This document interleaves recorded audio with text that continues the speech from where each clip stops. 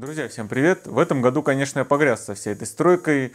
Началось все со строительства мастерской, кстати, в которую я еще не заехал, потому что началось строительство дома, на которое ушли все оставшиеся силы и ресурсы. Но, тем не менее, новую мастерскую уже хочется чем-то начать обставлять, хочется поучиться чему-то новому, так как э, рано или поздно стройка у меня, может быть, закончится, и ну, нужно будет заниматься чем-то еще. Вот для этих целей и была приобретена вот такая обновочка. А пока я буду обучаться, может быть это перерастет в некое хобби, а глядишь, может быть перерастет в какую-то работу. Кто знает. Поэтому хочу похвалиться вот таким новым приобретением, вкратце описать, что и как работает, и вкратце описать некоторые характеристики. Так что присаживайтесь поудобнее, а мы начинаем. Речь пойдет вот о таком токарном станке от компании Weissen, модель VM210F400. Поставляется он в такой мощной коробке и добротно запакован. Внутри был сам станок и всякое разное к нему. Так как новая мастерская еще не готова, пока буду тренироваться работать на нем в старой мастерской. Поставил пока на верстак, а потом сделаю под него жесткое основание. Станок вот такой небольшой, он любительского уровня, но он уже не является какой-то игрушкой. И на нем вполне можно обрабатывать детали с достаточно высокой точностью. И самое удобное для новичка это то, что на нем уже можно работать прямо достав из коробки. Какие-то нюансы по настройке возможно возникнут уже после продолжительной работы. А пока вот, достали, включили в розетку и работаем. Это прикольно. Давайте вкратце пробегусь по характеристикам. Судя из названия VM210F400 следует, 210 это максимальный диаметр детали, которая может обрабатываться на данном станке. То есть расстояние от центра шпинделя до станины составляет 105 мм. А 400 это максимальное расстояние от патрона до задней бабки. Но детали до 38 мм можно обрабатывать и гораздо длиннее, так как проходное отверстие в шпинделе тут 38 мм, что, кстати, довольно неплохо. Те же любительские учебные станки ТВ4 и ТВ6 имеют 15 или 16 мм, насколько я видел в интернете. Шпиндель с толщиной стенки 6 мм. Это положительно сказывается на точности и жесткости конструкции. Также сразу установлен вот такой качественный патрон Sanow. В комплекте он трехкулачковый. Но на планшайбе, к которой он крепится, имеется отверстие под четырехкулачковый патрон. При желании можно поставить. Максимальный диаметр заготовки, который можно зажать в этот патрон, составляет 110 мм. Раз я начал про точность и жесткость, а именно это говорят важно в токарных станках, Тут имеется поверхностная закалка станины токами высокой частоты, о чем свидетельствует табличка. Иметь жесткую и точную станину действительно важно, ведь это основа, по которой перемещается вот эта штука, в которой зажимаются резцы. Этой штукой называется суппорт. Также по станине перемещается задняя бабка. Ширина станины составляет 100 мм. Давайте остановимся на этих деталях. Суппорт способен передвигаться вдоль по станине с помощью вращения вот этого колеса. Вращая колесо повыше, мы перемещаем его поперек станины.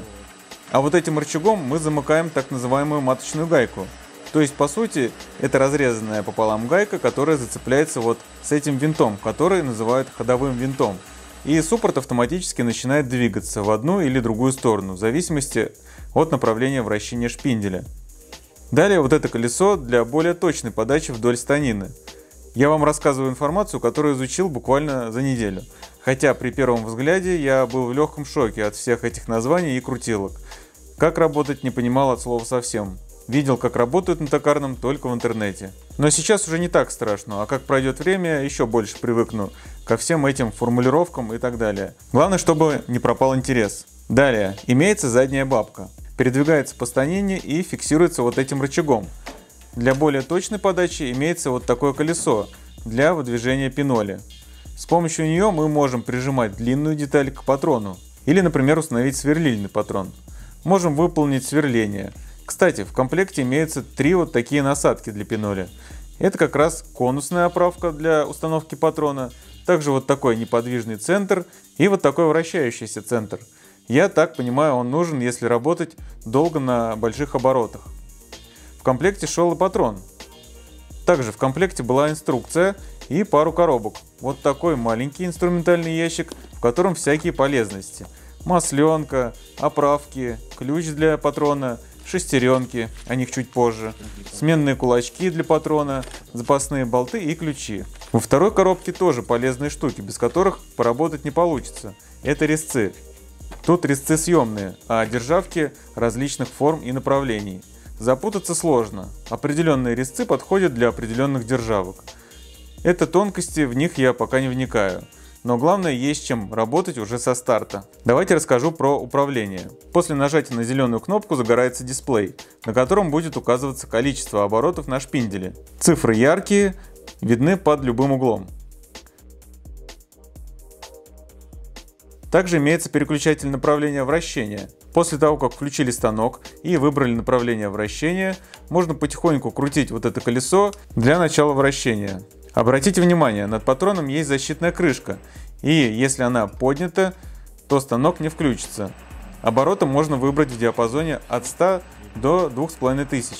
Но если перекинуть ремешок на шкивах, то диапазон будет от 50 до 1250. Вообще, если снять вот эту крышку, то можно увидеть кучу всякого разного. Особенно хочу обратить внимание вот на эти шестеренки. Похоже, были в комплекте, как вы помните.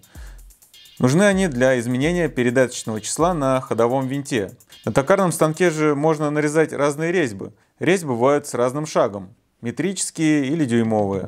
Разобраться несложно по этой таблице. На ней указаны шаги резьб в метрической или дюймовых величинах, а также буквами А, Б, С, Д, Е, Ф указано, какие шестерни должны быть установлены внутри и снаружи.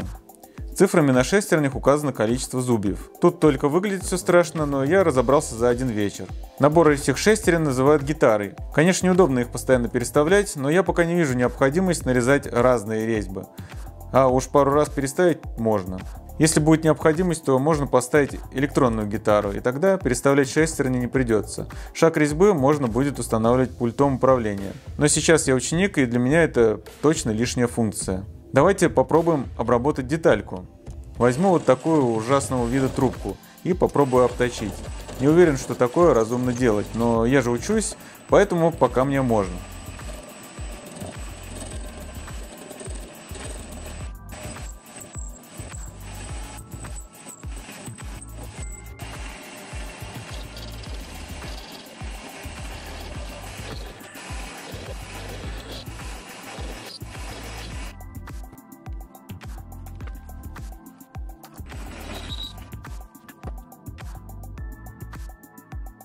Друзья, вот вы видите, на мой взгляд, для первого раза получилось неплохо.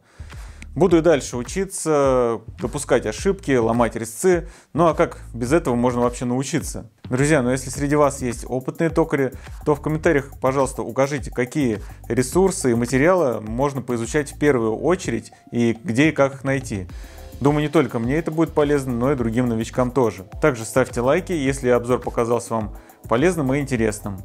Не забывайте подписываться на канал, подписывайтесь на канал в Телеграм, там тоже много всего интересного. Всем спасибо за просмотр и до новых встреч!